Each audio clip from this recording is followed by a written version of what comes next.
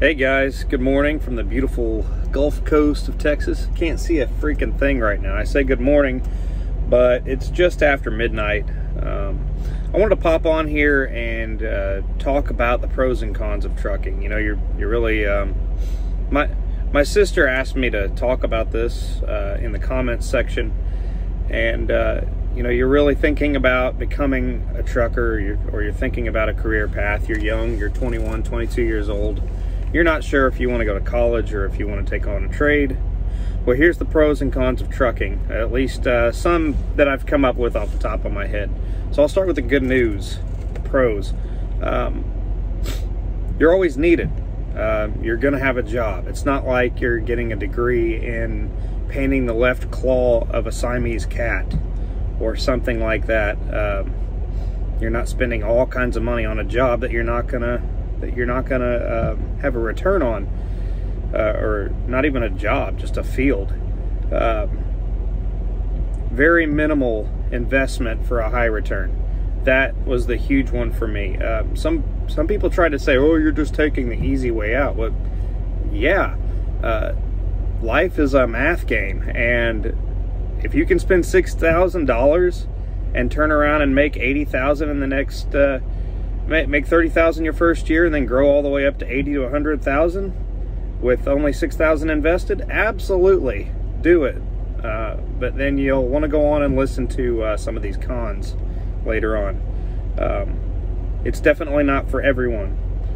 Um, so another pro that uh, I've come up with is I love to travel.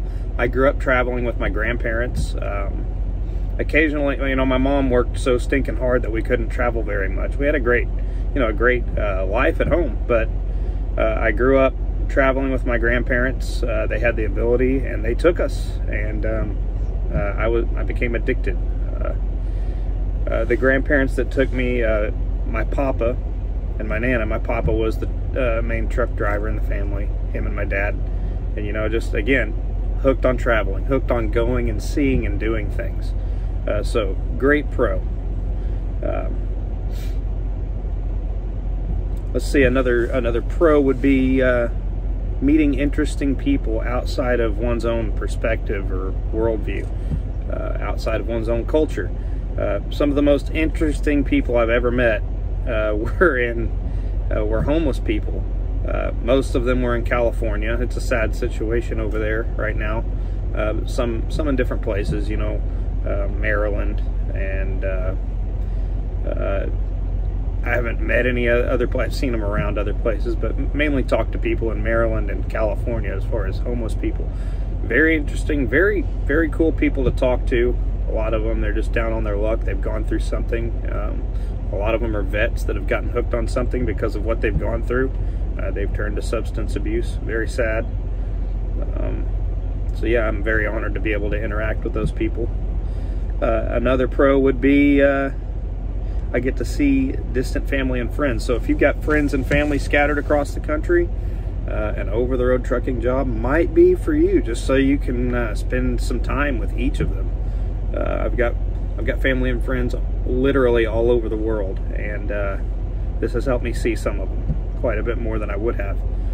Um, finally, and, and very big for me, is a sense of being a, an important contributor to uh, society. I keep looking down because I've got notes, trying to get a little more organized. Um, but uh, yeah, uh, being being an, a, a, contributing citizen, it really helps with the feeling of, um, you know, I guess fulfillment and uh, satisfaction. You know, knowing that you're needed it's great. So uh, with that, I'm going to move on to the cons, or as I like to refer to them, sacrifices, because while they might be cons, um, with anything good, you have to make sacrifices. I mean, uh, coming into the uh, job market, you're going to have to understand that. You're going to have to make sacrifices, and you're going to have to take, take risks if you want to get anywhere.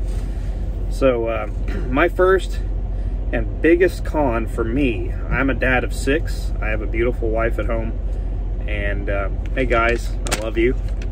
Um, but I have a diminished family life because I have an over the road position. Um, there are some some uh, local positions out there. They don't pay nearly as much, and frankly, until I find one that pays enough to uh, pay our bills and keep a little bit of money in savings, I, I can't go back to anything. I, I've got to stick with over the road. So yeah, that's that's the biggest con for me personally. Maybe you don't have a wife and kids. That's great, and it's it's great for you to get started in this. Just know that that's a big one. Um, another big one for me, which you can really um, you can mitigate uh, through diet and different things, but is health decline. When I started driving, uh, I was 195 pounds, and now I'm around 235. Pretty shameful, you know. Uh, I've spent a lot of my downtime out here playing video games or going to the movies or eating instead of being more um, proactive with my health. I mean, you can do simple 30 or 40 minutes a day. I mean, you have to take a 30 minute uh, break every day anyway.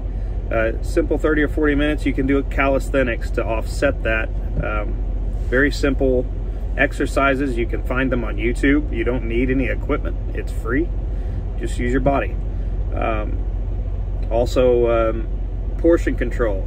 Uh, the, the, my favorite diet, honestly, is to go keto and portion control, or keto and uh, caloric counting at the same time. But uh, I'm trying to save money right now, so I've gone back to a more balanced macro diet. Macro, for anybody who doesn't know what macros is, I'm just talking about carbs, fat, and protein. Just having a more balanced uh, profile with that because it's cheaper. Um, it just you can't eat as much. Uh, you can't eat as much because the because carbs and fats have a higher uh, calorie density, I guess. Um, so another another con or really a sacrifice is, like I said earlier, you've got to take risks. So it's high risk. It's one of the most dangerous jobs on on the on the planet, I would say, uh, statistically, because there's so many truck drivers out here. Uh, I'm sure if there were less, then some of the other professions would rise to the top as far as far as danger goes. Um, but high risk, high danger. Um, you've got to stay vigilant because people on the road, most of them, frankly, don't belong out here. They're nuts. Uh, they want to do everything but drive. I've seen women go down the road in the morning, eating a bowl of cereal and putting on makeup, like, and driving with her freaking knee. Like, how, how, how I don't know. I don't know what people are thinking, man. Watching movies with their feet propped up. I've seen plenty of truckers do that. Like they're driving 80 80,000 pounds down the road and they've got their feet up on the dash like a, uh, like like it's a recliner and they've got a laptop on the on the dashboard thinking the cops aren't going to see it and apparently they don't I guess but sitting there watching movies uh, come on people so that's very dangerous very high risk and then you've got inclement weather road conditions uh, one one uh, crazy, ridiculous thing I heard of just the other day from one of my buddies. He called me and he said, "Man, you wouldn't believe what I saw. I was driving down the road, and all of a sudden everybody was stopped. And uh, when I got up there, uh, there was just a big hole all the way across the road. It was in the mountains, and a sinkhole opened up, and a uh, a little car got stopped just in time to where its front end was hanging down into the sinkhole, and then another truck almost shoved them off into it. So." sometimes the most unexpected happens out here and it can end your life in a heartbeat and a lot of other people's lives. Uh, so there's that, the danger aspect. Um, another con that is uh, pretty detrimental for me, for my health and everything, is, uh, hang on a second, I've got a guy here. Good morning, driver. Hey, how are you? Lousy like everybody else. Yeah. I work over at the Chrome Shop part-time driver. You mind letting an old soldier hit a couple of rims so I can earn something to eat today? I sure. ain't had no work in a couple of days. I'd sure, be, go for it, please. I'd be more than happy to bust my ass on your rig for a little while. Yeah, let me make sure I got cash for you. I don't want you to work. Let me make sure I got some cash. I don't want you to work without getting paid. Give me a second. Well, I'll tell you what. I'll give you a cheap enough deal. I'll pay for the ATM no. charge if you have to. No, I got I got cash, brother. Oh, I got cash. Thanks for your service. I'm not trying to pull no shenanigans I'm just trying to work. We ain't had no work, honestly, on my mother's grave. Not for four fucking days in the fucking Chrome Shop. Brother. Seriously. That's the only reason why I'm out so late. Otherwise, I'd be at home watching TV. I'll take care of you. Thank, I'll thank you. you. You, thank you very much. Thank you. Thank couple of old soldier workers, I'll tell you this much, Uncle Sam sure don't care about us. No, no, they don't. Not not always. Nope. So that was as uh, one of our fellow veterans asking me for work. Um, wow, that's that's an honor. Like that's some of sometimes you can really tell uh, whether they're telling the truth or not based on how they act. Very seldom do I have somebody offering to do work for me. They just asking for money. So, um, wow.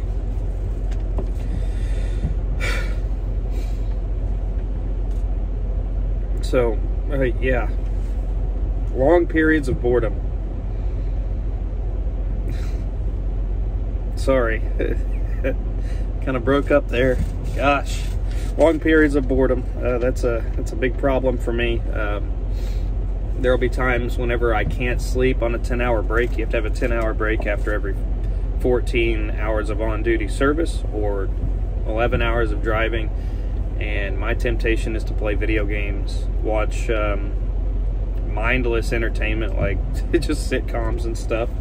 And I'm sorry, you know, thanks to my uncle, I'm starting to get away from that and uh, starting to fill more of that time. If I don't exercise or something, starting to fill more of that time with just self learning on YouTube. Um, some of the things I've been learning, uh, I, I'm, I have a really strong interest in linguistics and uh, and uh, etymology, so I've been learning languages. Right now, I'm working on Latin a little bit. Um, I've already got a somewhat strong background in uh, in um, Spanish and uh, it, it, really helps. Also, speaking English helps because we have a lot of Latin root in our language. Um, anyway, I digress. Uh, finally, a, a, sacrifice that I, I, find is really, you know, it's easy to it's easy to mitigate as well. It's just the expense of living out here. Um, if you solely live on truck stop food and showers and don't take advantage of the um, don't take gosh. Gosh i'm so thankful for that guy. Man. Uh, don't take advantage of of of the just different resources. You got to be resourceful i guess is what i'm trying to say. Um, there's ways to get free food. There's ways to save money on food. Um, pardon me for my truck being crazy uh, dirty right now but i'm just going to show you i've got a refrigerator that's my bunk back there with all my junk on it i've got a microwave and I've got an Instapot down there, and uh, it's basically like having a, a, rolling kitchen. I've got jugs of water that I refill, so I don't have to. Hang on, he's coming back. Yes, sir. Hey, would you mind taking a look at the one wheel I got done so you can get a little before and after look for it? No, that's okay, man. I, okay, I'm no, working on. To make sure I trust you. Why? I do. sorry. I'm not used to people being this nice. No, I, yeah, I, ain't that a shame? It is. It, yeah, I, I mean. If you listen, man, very seldom do I have people asking me to do work for me. So if you're oh, well, asking, I'm not trying to. I'm if you're asking, to, I trust you, man. Yeah, I'm not trying to yeah. beg you, you know, like these other guys do. But when I was your age, kid, I'll tell you, world was different. I mean, it's. Yep. I remember I used to be able to ride my bike around town. Now I. Yes, it is. I don't. We gotta. I mean, we just gotta do it. I've been I mean, looking at the way things are going lately, and I'm just like, really? What? What? What? What's wrong with you? The, no. But I guess I'm preaching to the choir. Huh? Yeah, you really, man. Uh, I mean, all you gotta do is turn on the news. That's all they do is push the bad stuff, you know. You know, I got one question. What's up? I've been watching the news like that for fucking years, right? When the hell is there ever gonna be any good news? Yeah, exactly. If it bleeds, it leads. So, uh, expensive to live. Very expensive to live out here. Um, if you don't get into a point system with truck stops, uh, you will have to pay. And I, I know that season, you, if any season truckers are watching this, I know I'm telling you things you already know. I mean, you've been out here a while, so I'm not, I'm not trying to, you know, be all knowledgeable and smart about this. I'm just trying to inform people who might uh, come into our business. Uh, so um, things that I, a lot of things that I wasn't told. Um, yeah, you can get free showers instead of spending twelve dollars a day on showers. Uh, like I said, the food issue. Um, man, I've lost my train of thought. Uh, I guess I do trust him uh, for cleaning, but I also, you never want to get in a situation where you are outside alone with somebody. Um, necessarily like I'm in a dark place. Uh, nobody else can see what's going on. Anything could happen. You have that's another risk out here. You can interact with people, but you have to be careful how you do it. Um, not being within eye shot, it can get you stabbed in a heartbeat, get you shot in a heartbeat. And I'm sure he's not going to do anything, but in the off chance that um, he does want to rob me or something, you know, you got to be careful. Choose your venue when you talk to people you don't know. So anyway, with that, um, those are the pros and cons just off the top of my head, and uh, this has been a pretty eventful video. Uh, very thankful to be able to to uh, interact with a vet today. I don't think he's homeless, but but definitely he's in need right now, and I appreciate his service. So uh, with that, um, I'm going to take off, and I'm going to get ready to roll. Thanks. Bye.